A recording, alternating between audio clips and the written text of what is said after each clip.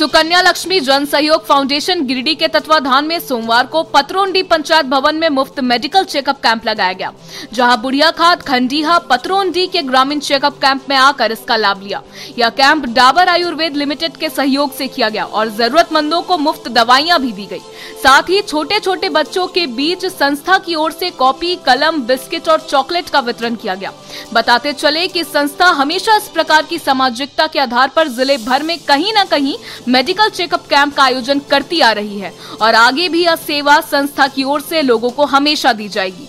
इस कैंप को सफल बनाने में संस्था के सचिव शिल्पा कुमारी एवं कार्यालय प्रभारी मनोवर आलम के अलावा रूमी परवीन, विनोद कुमार एवं संगीता देवी का योगदान सराहनीय रहा।